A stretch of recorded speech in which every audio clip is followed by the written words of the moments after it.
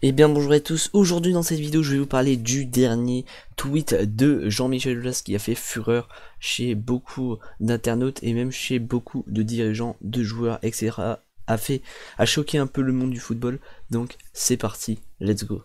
Alors tout simplement Jean-Michel Aulas est président de l'Olympique Lyonnais qui, euh, qui est très connu pour charrier d'autres équipes, euh, notamment Saint-Etienne en début de saison, euh, il avait commencé un peu à les charrier, mais bon, ça s'était terminé mal parce qu'ils avaient gagné Synthé, tout simplement.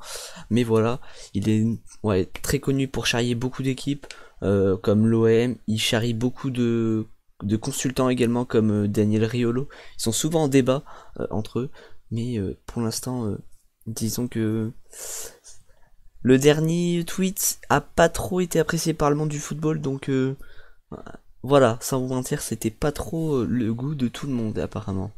Voici le dernier titre de Jean-Michel Aulas. Je cite, la meilleure solution serait une saison blanche. Voilà, il y a d'autres...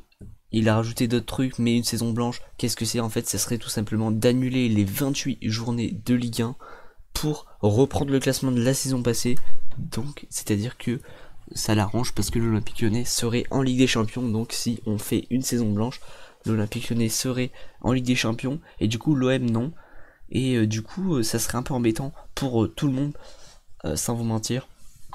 Et parce que faire une saison blanche, ça serait prendre les trois derniers, je, normalement, à prendre les trois derniers de la saison passée et les reléguer, sauf que les trois derniers malheureusement bah en fait ce que je comprends pas trop c'est que les trois derniers ils sont déjà en Ligue 2 donc c'est un peu bizarre ce c'est un peu bizarre aussi ça mais voilà, donc euh, c'est vraiment pas du tout passé inaperçu. Et du coup, la présidente de de LFP, oh là j'arrive pas à le dire, de la Ligue de football professionnel, Nathalie Boy a réagi sur ce tweet qui euh, malheureusement n'a pas été du goût de tout le monde comme j'ai dit. Du coup, elle a répondu euh, froidement et clairement, voilà, sans vous mentir, je vais vous retirer les meilleurs moments du passage. Euh, comme ça, ça sera un peu mieux. Parce que je vais pas vous lire toute sa déclaration. Je vous laisse mettre pause si vous souhaitez la lire. Donc voilà, c'est parti. Alors, du coup, toute sa déclaration, euh, voici, euh, la voilà. Et ce que j'ai retenu, c'est mais ce n'est pas la décision d'une personne. Voilà, tout simplement, elle lui dit clairement que c'est pas lui qui aura la réponse à la question du coronavirus. Et le football, c'est la, la solidarité entre 40 clubs et l'ensemble des acteurs du football. C'est-à-dire que là, ça sera plusieurs ils seront beaucoup à décider et ça sera pas du coup en gros elle lui dit que c'est pas à lui de décider ce que euh, la décision que le conseil d'administration on va dire tout simplement. Parce que tout simplement Jean-Michel Aulas sans vous mentir moi je trouve qu'il est un peu il se croit un peu au-dessus de tout le monde et malheureusement ça peut avoir des répercussions sur l'avenir. Alors il y a une autre personne qui a fait énormément régir c'est Jacques-Henri Hérault et qui a clairement euh, pas, je dirais pas insulté, mais qui a vraiment répondu très froidement à, Jean-Michel Aulas. C'est le président de l'Olympique de Marseille, Jacques-Henri Hérault. C'est, euh, je l'ai gardé parce que je trouvais que c'était un, commentaire assez euh, qui pouvait venir dans mon diapo et qui pouvait être très intéressant pour certains. Donc voilà, comme tout à l'heure, je vais vous montrer le, le moment le plus important selon moi.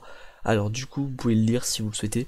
Quand la fièvre sera retombée, Jean-Michel Aulas verra l'obscénité sa proposition opportune. C'est-à-dire qu'il quand même le traite d'obscène. Donc euh, je sais pas si ça va être trop du coup de là, sans voir s'il va répondre dans les prochains jours. Faut-il les dissoudre dans l'égoïsme de celui dont la seule boussole est sa participation à la Ligue des Champions? Voilà, du coup il lui dit carrément qu'il est égoïste, obscène. Euh, voilà. C'est moi personnellement, mon avis perso, je trouve que c'est un peu vrai. Euh, parce que franchement, faire ça comme il l'a dit, euh, nier 28 journées de championnat déjà disputées, euh, moi pour moi, ça serait encore 14 journées, même pas un truc comme ça, j'aurais bien fait ce qu'il proposait de faire. Mais quand tu dépasses, euh, quand t'es à 28 journées, c'est pas possible. C'est pas possible pour moi. Ce qui reste seulement 10 journées de la fin, c'est vraiment pas possible, selon moi, de, de faire ça. Parce que malheureusement, hein, c'est franchement, je trouve qu'elle est pas arrivée au bon moment. Jean-Michel Aulas, il a vraiment un peu abusé sur cette situation-là, malheureusement. Et, et euh, eh ben c'est très dommage parce que c'est un très bon, je trouve c'est un président euh, qui, qui, gère très bien son club, mais malheureusement pour moi, c'est un président qui ouvre beaucoup trop sa bouche et des fois pour dire des trucs euh, complètement obscènes, si je pourrais dire également. je compatis avec Jacques-Henri Hérault, je trouve ça un peu obscène. également de sa part. Mais voilà, on va on attend un peu des réactions de sa part en espérant qu'il va réagir. Ce serait la meilleure des solutions pour lui. Donc voilà, mais bon. Ou sinon la seule solution ce serait de se taire parce que sinon voilà, il va encore en prendre plein la tête. Jean-Michel Aulas, donc vaut mieux pas qu'il réponde non plus. Du coup les amis c'est la fin de cette vidéo, j'espère qu'elle vous aura plu, c'était une vidéo très très courte mais euh, qui devrait aller. Donc les amis, euh, n'hésitez pas à mettre le petit pouce bleu, vous abonner si c'est pas déjà fait. N'hésitez pas à aller voir ma dernière vidéo qui s'affiche à l'écran. Donc euh, voilà, si elle vous plaît, n'oubliez pas le petit pouce bleu comme je l'ai dit.